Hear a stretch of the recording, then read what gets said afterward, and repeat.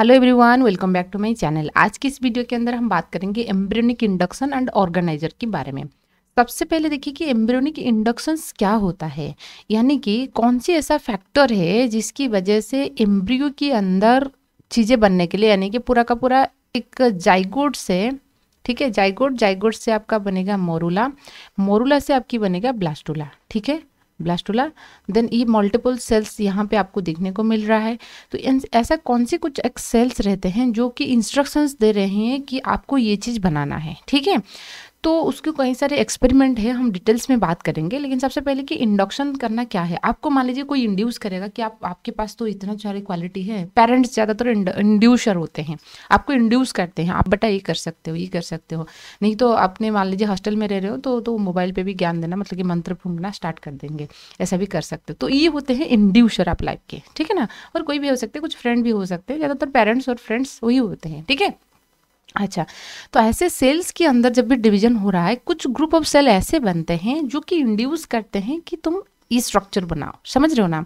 तो इंडक्शन कैसे, जैसे आपके पेरेंट्स उनकी जो इंड्यूस करने की जो तरीका होता है, क्या होता है? वो बात करेंगे, आपको मोटिवेट करेंगे बात के थ्रू समझ रहे हो ना? इस तरीके से इंड्यूशन तो अब हम बात करेंगे the process of induction is certain tissue in an embryo influences the development of other tissue is called embryonic induction मतलब वही एम्ब्रियो की कुछ सेल्स और टिश्यू ऐसे होते हैं, दूसरे सेल को इंड्यूस करते हैं कि तुम ये बन जाओ ये बन जाओ। ठीक है? तो उसको हम इंडक्शंस कहते हैं। It is a morphogenic event मतलब कि स्ट्रक्चर बनाने वाले इवेंट होता है। Embryonic tissue transmit a chemical stimulus जैसे आपको बोल रहे थे कि ना, आपके पेरेंट्स घर में रह रहे हो तो ऐसे बात कर लेंगे। यदि हॉस्टल पे रह रहे हो, आप क्या करेंगे? वो मंत्र फूंकना स्टार्ट करेंगे मोबाइल के ज़रिए ठीक है ना? आप तो हमारा ये हो ये हो इतना उम्मीद है आपके पास। ऐसे सोचते हैं। होता भी सच, ठीक है? तो इसलिए ये तो आपका इंड्यूसर हो जाएँगे। यहाँ पर ये जो फैक्टर कुछ रिलीज़ करें और आप लोग हो गए क्या? आप रिसेप्टर हो गए आप रिसीव करोगे उन चीज़ों को। उस करने के बाद आप बन जाओगे। रिसर्चर बनना है, साइंटिस्ट बनना है, डीएम बनना है, कुछ भी बनना है आपको, ठीक है? तो इस तरीके से चीज़ें, आपकी ये चीज़ें हो जाएगा कन्वर्ट हो जाएगा। मतलब थोड़ा एनालिसिस के साथ पढ़िए ताकि आप चीज़ें समझ में आएगा। तो जैसे देखिए तो कोई भी इंडक्स मतलब कि इस प्रोसेस के लिए इंडक्शन प्रोसेस के लिए क्या चाहिए? ऑर्गेनाइजर चाहिए मतलब कि आपकी पेरेंट्स हो गए, जो कि मंत्र फूंकते हैं, ठीक है ना? तो organiser it is also called the inducer और इंडक्टर तो हम उसको इंड्यूसर और इंडक्टर कहेंगे। It can exert the inductive influences उनसे इंडक्टिव इन्फ्लुएंसेस निकलेगा। तो वो जो इंडक्टिव इन्फ्लुएंसेस है, जो बात है, उसको हम एवोकैटोर कहते हैं। तो ये रिलीज़ होगा तो एबोकेटर कोई भी प्रोटीन हो सकता है, कोई मॉर्फोजेनिक फैक्टर, पैराक्रेन फैक्टर, कोई भी, ठीक है, कोई सिग्नलिंग मॉलिक्यूल भी हो सकता है, जिसके दौरान आप लोग हो गए रेस्पॉन्सिव टिश्यू आप उसको रेस्पॉन्ड करोगे, इतना हालत ये है, हम नहीं करेंगे तो कौन करेगा? तो उसके बाद आपकी रिज़ल्ट निकलेगा, ठीक है? ये लो रिज़ल्ट समझ में आए ना? तो वही इंडक्टर को हम ऑर्गेनाइजर कहते हैं। ऑर्गेनाइजर की ऐसा समझिए कि कोई भी जैसे आपके कॉलेज के अंदर एनुअल फ़ंक्शन है, कोई चीफ गेस्ट को बुलाना है, आपकी डिपार्टमेंट की जो हेड होते हैं ना, कुछ लोगों को ऐसे काम दिया जाता है। ऐसा नहीं कि पूरा का पूरा डिपार्टमेंट उनके। तो उनके, उनकी ज़िम्मेदारी होता है कौन चीफ गेस्ट आएँगे, कब कब आएँगे उसका रहना खाने की जो सारे सुविधाएँ, वो सारे जो ज़िम्मेदारी है उनके पास रहता है। समझ रहे हो ना? तो उसको हम ऑर्गेनाइजर कहेंगे। पूरा का पूरा मीटिंग को वो अरेंज कर रहे हैं। वो नहीं, उनके हिसाब से सब हो रहा है। यहाँ पे चैट होगा, यहाँ पर ऑडिटोरियम में चीज़ें होगा, यहाँ पर होगा। समझ रहे कहाँ पे होगा, कहाँ पे नहीं होगा, वो उनको इन्फ्लुएंस करते हैं। इसलिए हम उसकी नाम देते हैं ऑर्गेनाइजर ठीक है? आपकी है एम्ब्रियोनिक इंडक्शन एंड ऑर्गेनाइजर दोनों चीज़ों के बारे में हम बात करेंगे। अब हम देखेंगे टाइप्स ऑफ़ एम्ब्रियोनिक इंडक्शंस तो कहाँ से एम्ब्रियोनिक इंडक्शंस आ रहा है? उसके ऊपर दो तरीके के एम्ब्रियोनिक इंडक्शंस होता है। एक एंडोजीनियस इंडक्शन एक एक्जोजीनियस इंडक्शन जैसे कि और इंटरेक्शंस की बेसिस पर कैसे वो काम कर रहा है? एक इंस्ट्रक्टिव इंट्रैक्शन एक पॉर्मिसिव इंट्रैक्शन होता है। सबसे पहले एंडोजीनियस इंडक्शन हम देखेंगे। एंडो का मतलब क्या है? अंदर से निकलेगा। ऐसा टिश्यू है जो जो भी उनकी जो सिग्नलिंग मॉलिक्यूल रिलीज़ हो रहा है, वो अपनी, उनके ऊपर ही काम करेगा। ठीक है? वो खुद ही इंडक्टिव सिग्नल को रिलीज़ करेगा, खुद के ऊपर एक्शन दिखाएगा और ये दूसरे सेल को या ऑर्गन को बन जाएगा। ठीक है? तो ये आपका ऑर्गेनाइजर हो गया। ऑर्गेनाइजर से ये केमिकल मॉलिक्यूल बन रहा है यहाँ से। फिर ये जाके वहीं अपने ऊपर ही एक्शन दिखा रही हैं। उसके बाद सेल्फ डिफ्रेंसिएशन होकर ऑर्गन बन रहा है। तो उसको हम एंडोजीनियस इंडक्शंस कहेंगे, ठीक है?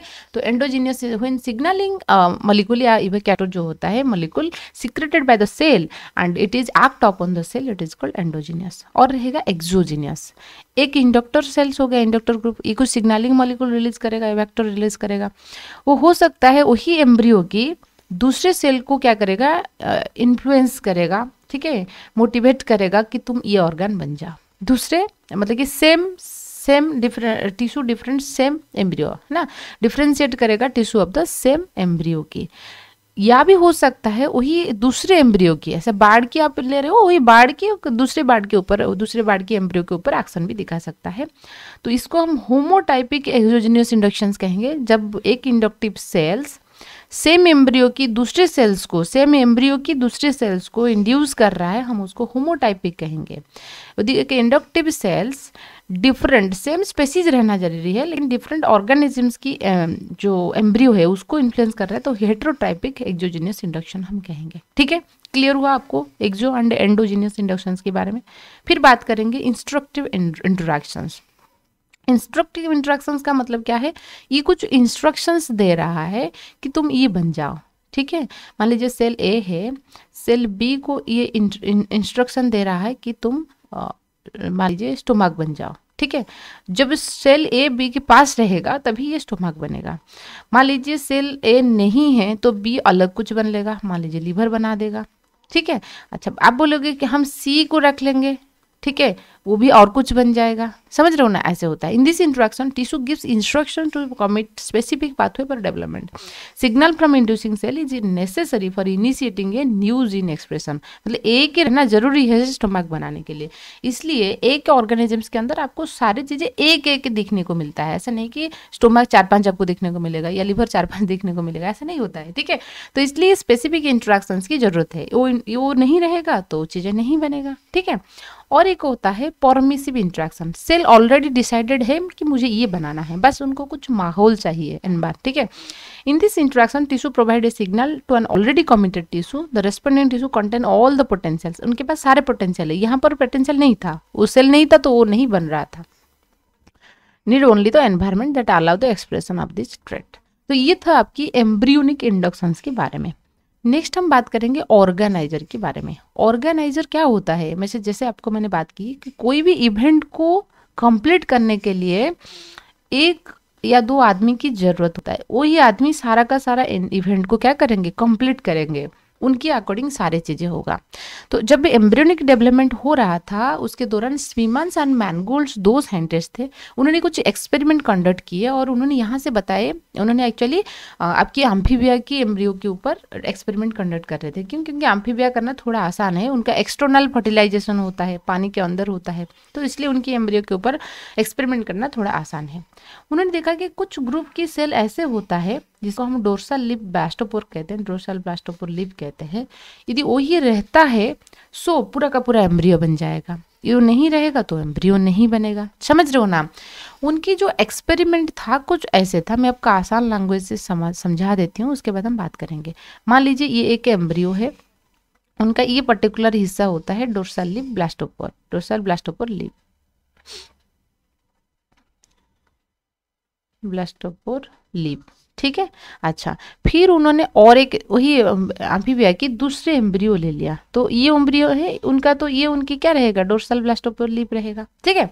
अच्छा फिर उन्होंने क्या किया? उन, इस इस एम्ब्रियो की डोर्सल लिप ब्लास्टोपोर लाके इधर साइड्स में इंट्रोड्यूस किया। ठीक है? Dorsal lip dorsal blastopore lip. तो कुछ टाइम मतलब कि ग्रो हुआ। ग्रोथ होने के बाद क्या मिला? उनको दो एम्ब्रियो मिल गए। ठीक है? और वो दोनों क्या थे? अटैच्ड थे। ठीक है? उनके पास सारी चीज़ें था, लेकिन ये क्या है? एक बेली पीस बनाया, छोटा सा बेली पीस और कुछ नहीं बन पाया। समझ में आ रहा है ना? मतलब उनकी पूरा का पूरा प्रोसीजर यही था। तो उसके बारे में हम डिटेल्स बात करेंगे ठीक है? अच्छा सो so, जैसे कि देखिए कि when particular tissue influences the formation of embryos called हम ऑर्गेनाइजर उसको हम ऑर्गेनाइजर कहेंगे। सो 1924 में Hans Spemann and Mangold they took embryos of amphibia at their gastrula stage ठीक है? When dorsal lip blastopore was removed from the दो दो embryo लिए थे जो कि था T taeniatus and T cristatus ठीक है एम्फीबिया की दो स्पेसीज की उन्होंने एम्ब्रियो लिए थे. The dorsal lip blastoper cell were able to interact with the host tissue to form a complete neural plate and second embryo is formed conjoined to face to face structure मतलब कि जैसे आपको structure बताई इस तरीके से face to face structure होके दो स्ट्रक्चर उनका बन गया they are called the dorsal blastopore derivative as the organiser तो डोर्सल ब्लास्टोपर जो होता है वो डेरिवेटिव होता है ऑर्गेनाइजर के लिए उन्होंने ये चीज़ बताई थी फिर हम बात करेंगे डिफरेंट ऑर्गेनिजम्स की डोर्सल लिप ब्लास्टोपियर के नाम डिफरेंट डिफरेंट होता है। जैसे न्यूपिक सेंटर होता है सिग्नलिंग होता तो dorsal lip blastopore dorsal lip blastopore को सिग्नलिंग देने के लिए न्यूपिक सेंटर पाया जाता है एम्पीबिया के अंदर। चिक के अंदर वही ऑर्गेनाइजर के नाम होता है हैंसेंस नोड ठीक है? अच्छा मामल के केस में हम उसको नोड कहते हैं फ़ीस के केस में हम उसको सील्ड कहते हैं। यानी कि जो ऑर्गेनाइजर के नेम इस पर्टिकुलर ऑर्गेनाइजर रहेगा, ये इन्फ्लुएंसेस करेगा कि तुम यहाँ पे ये स्ट्रक्चर बना लो, इस एक एक स्ट्रक्चर बनाओ, ऐसे तरीके से बनाओ, ये उनको इन्फ्लुएंस करते हैं। तो डिफरेंट ऑर्गेनिजम्स के केस में ये अलग अलग रहता है। देखिए फ्रॉग के केस में क्या होगा? फ्रॉग की जो एग होता है, ठीक है ना? उनकी ये एनिमल एनिमल पोल रहा है। ये उनकी वेजिटल पोल रहा है। वेजिटल पोल के अंदर जो होता है, जो फ्लूड रहता है, ये थोड़ा लाइट कलर की होता है और एनिमल पोल की जो फ्लूड होता है, ये डार्क कलर की होता है। और उनकी जो साइटोप्लाज्म होता है, वो भी दो जोन में डिफ्रेंशिएट है। एक बाहर की लोअर लेयर जो होता है, उसको हम कॉर्टिकल साइटोप्लाज्म्स कहेंगे, जो अंदर वाला होता है, हम उसको इनर साइटोप्लाज्म कहेंगे, अंदर में जो होता है। ठीक है? जब भी स्पॉर्म एंट्री करेगा, जिस पॉइंट में स्पॉर्म एंट्री करता है तो उसको हम बोलते हैं कि आपकी वेंट्रल साइड ठीक है, ये वेंट्रल साइड रहेगा। और उसकी अपोजिट साइड जो होगा, वो डोर्सल साइड्स होगा। ठीक है? अच्छा तो स्पॉर्म एंट्री करने के बाद क्या होता है? उनकी स्पॉर्म की न्यूक्लियस के साथ साथ सेंट्रियल भी आता है। उनकी सेंट्रियल की वजह से क्या होगा? There is a cytoplasmic movement होगा। तो आप देख सकते हो ब्लैक कलर के कुछ ऐसा था, ऐसे ऐसे था। अभी स्पॉर्म एंट्री करने के बाद कुछ ऐसा हो गया। ठीक है, जो हमने बताए थे कि जो वेजिटल पोल के अंदर जो लाइट कलर की फ्लूड पाया जाता है, वो डार्क कलर की फ्लूड फ्लूड की तरफ़ ऐसे मूव कर जाएगा, थोड़ा टिल्टेड हो जाएगा इस तरीके से।